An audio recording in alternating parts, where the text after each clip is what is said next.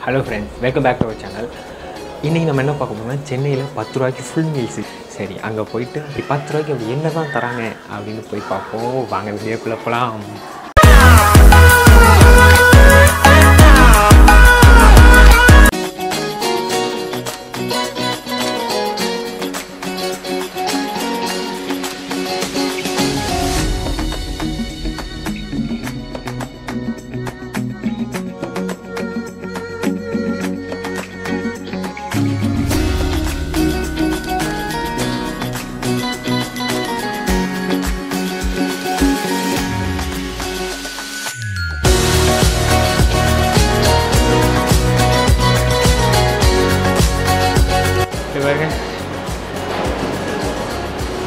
Dining எல்லாமே நல்லா இருக்குது பட் எப்படி உங்களுக்கு கட்டுப்படி ஆகுதுன்னு தெரில சரி வாங்க.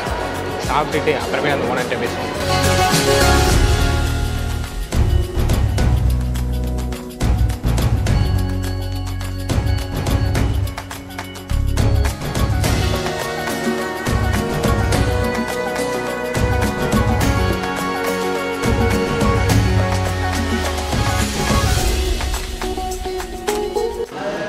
இப்போ அந்த ஹோட்டலோட ஓனர் அவங்கள்ட்ட தான் பேச உங்கள் பேருங்க கே வீரபாபு. நான் ஒரு சித்தா டாக்டர் நான். நம்ம government an hospital of Indian medicine நம்ம அரும்பாக்கத்தில் இருக்க சித்த மருத்துவக் கல்லூரியில் சித்த மருத்துவம் முடிச்சிருக்கேன். ஆரோக்கியமான உணவு முறையை மக்களுக்கு கொண்டு போய் சேர்க்க வேண்டிய ஒரு பொறுப்பில் நம்ம வந்து இதை பண்ணிகிட்ருக்கோம் இதை கடந்த ஏழரை ஆண்டுகளாக ரிப்பன் பில்டிங் வளாகத்தில் பதினஞ்சு ரூபாய்க்கு சாப்பாடு போட்டிருக்கோம். டெய்லி ஆயிரம் பேருக்கு. அங்கேயும் இதே ஆவாரம்பு சாம்பார் முடக்கத்தான் தோசை உளுந்தங்களி எல்லா விதமான அந்த மூலிகை சார்ந்த உணவுகள் எல்லாம் நம்ம கொடுத்துருக்கோம். இப்போ சூப்பர் ஸ்டார் ரஜினிகாந்த் அவர்கள் அரசியலுக்கு வர்றதுனால அவருக்கு சப்போர்ட் பண்ணணும் அப்படிங்கிற ஒரு எண்ணத்தில் இது மாதிரி நிறைய நல்ல விஷயங்களை மக்களுக்கு செய்யணுங்கிற நோக்கத்தில் இந்த ஏரியாவில் உள்ள மக்களுக்கெல்லாம் நம்ம செய்வோங்கிற அடிப்படையில் நான் இந்த இதில் இறங்கியிருக்கிறேன். நல்ல வரவேற்பு. எவ்வளவு கிடைக்கும் இதுலேருந்து உங்களுக்கு லாபம்? இல்லை இல்லை நல்ல லாபம் வருதுங்க. அதாவது பத்து ரூபா உணவுங்கிறது யாருக்கு? அப்படின்னா கூலி வேலை செய்கிறாங்கல்ல கட்டட தொழிலாளர்கள். அவங்கெல்லாம் வந்து சித்தாள் வேலை செய்கிறவங்களாம் இரநூறுவா முந்நூறுரூவா இரநூத்தம்பது ரூபா சம்பளம் வாங்குறாங்க. அதில் அவங்கள அவங்களுக்கு போய் ஹோட்டலில் போய் அறுபது எழுபது ரூபா கொடுத்து சாப்பிட முடியாது. அவங்களுக்காக தான் இந்த மாதிரி ஒரு பத்து ரூபா சாப்பாடு. அதில் வந்து நம்மளுக்கு ஒரு ரூபா ரெண்டு ரூபா நஷ்டம் வரலாம். ஆனால் அளவில்லாத சாப்பாடு முப்பது ரூபா போடுறோம் இல்லையா? அதில் நம்மளுக்கு நல்ல லாபம் வருது. அந்த லாபத்தை எடுத்து இதில் கொஞ்சம் நம்ம சரி கட்டிக்கலாம். அது போக நம்ம இட்லி தோசை எல்லாமே போடுறோம் இல்லையா? ஸோ அதனால் வந்து நஷ்டம் வர்றதுக்கு வாய்ப்பே கிடையாது. இதை வேற எங்கேயும் நிறையா ஊரில் இது பண்ணணும்னு உங்களுக்கு ஆசை இருக்கா? கண்டிப்பாக இப்போ நம்ம சூப்பர் ஸ்டாருடைய மனைவி அவர்கள் லதா மேடம் வந்து கூப்பிட்ருக்காங்க நடுவில் சந்திக்கிறேன்னு இருக்காங்க. ஸோ அவங்க சந்தித்த பிறகு அவங்களோட கலந்து ஆலோசனை பண்ணிவிட்டு இன்னும் நிறைய இடங்களில் நம்ம பண்ணுறதுக்கான முயற்சி கண்டிப்பாக எடுப்போம் நம்ம. தேங்க்யூ ஸோ இப்போ ஒரு ஃபுல் மீல்ஸ் தான் ஆர்டர் பண்ணியிருக்கிறோம் ஃபுல் மீல்ஸ் முப்பது ரூபாயா? அந்த லிமிட்டட் ரைஸ் வந்து பத்து ரூபா தானா? வரி காலிஃப்ளவர் காலிஃப்ளவர் வச்சுருக்காங்க ரைட் ஆ ஓகே ஆ எடுத்துக்கிறேன் பார்த்தீங்கன்னா சாம்பார் ரைஸ் ஃபுல்லாக இருக்குது. காலிஃப்ளவர்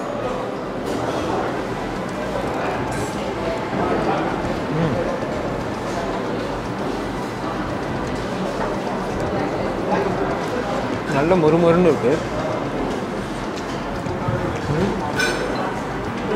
கூட்டு பண்ணியிருக்காங்க. ம். ஃபஸ்ட்டு சாம்பார் ட்ரை பண்ணிடுவோம்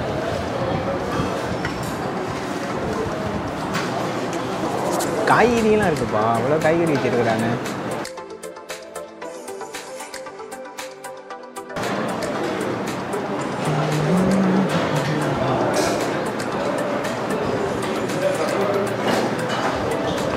டேஸ்ட் வந்து ரொம்ப நல்லா தான் இருக்குது கத்திரிக்காய் நிறையா போட்டிருக்காங்க.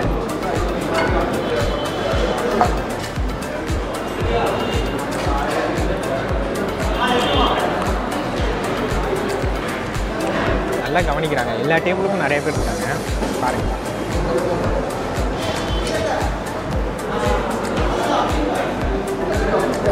எல்லா டேபிள்லையும் ஆளுங்க இருக்காங்க. நல்லா கவனிக்கிறாங்க.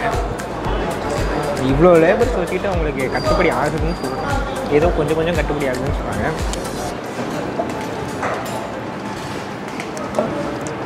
நல்ல காரம் உப்பு எல்லாம் கரெக்டாக தான் இருக்குது நல்லா நீட்டாக தான் வச்சுருக்காங்க.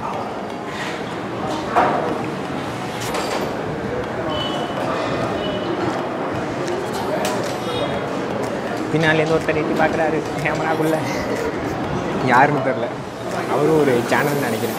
கேமரா வச்சுருக்காரு.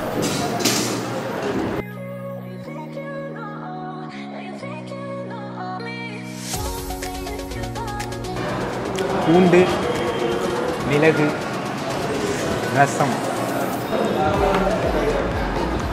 சீக்கிரமாகவே வந்தாச்சு. டைம் இப்போ தான் நான் வந்தப்போ டுவெல் தேர்ட்டி ஆனிச்சு. பட் அப்பையும் கூட்டம் ஓரளவுக்கு இருந்துச்சு. சொன்னாங்க சீக்கிரமாக இப்போ இன்னும் கொஞ்சம் நேரத்தில் கூட்டம் ஃபுல்லாகிடும் கூட்டம் நிறையா தான் இருக்குது கம்மின்னு சொல்லவே முடியாது. நிறைய தான் வச்சுருக்காங்க. பின்னாடி பாருங்கள் கூட்டத்தை. க்ரௌடு கேட்கும்னு நினைக்கிறேன். க்ரௌடு சவுண்டு கொஞ்சமாக கூட்டம் அதிகமாகிட்டே இருக்குது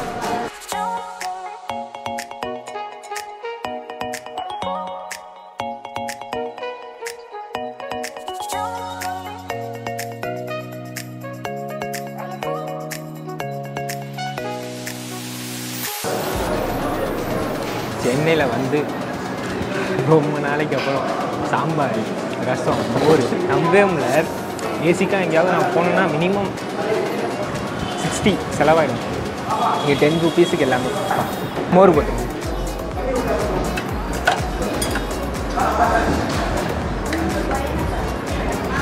சால்ட்டு பத்தலைன்னா சால்ட் இருக்குது. எல்லா டேபிளுக்குமே தனித்தனியாக ரசம் சாம்பார். எல்லாமே இருக்குது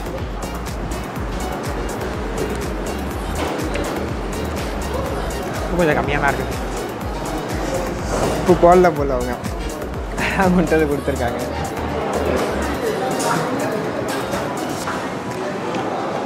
இது கம்மியாலாம் யாரும் கொடுத்துட முடியாது. பத்து ரூபாய்க்கு கம்மியான சாப்பாடு யாரும் கொடுக்க முடியாது.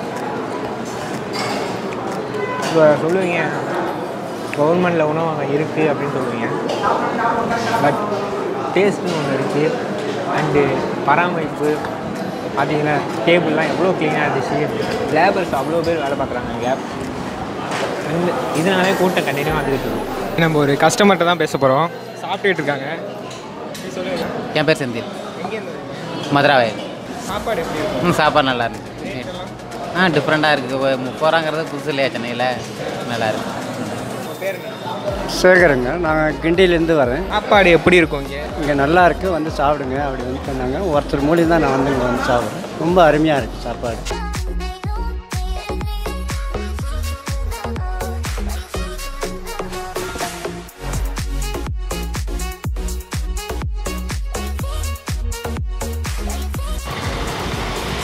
நான் கொடுக்குற கூகுள் மேப்போட லொக்கேஷனை ஃபாலோ பண்ணிப்போங்க கரெக்டாக தான் இருக்குது லொக்கேஷன் வந்து கீழே டிஸ்கிரிப்ஷன் பாக்ஸில் தரேன்.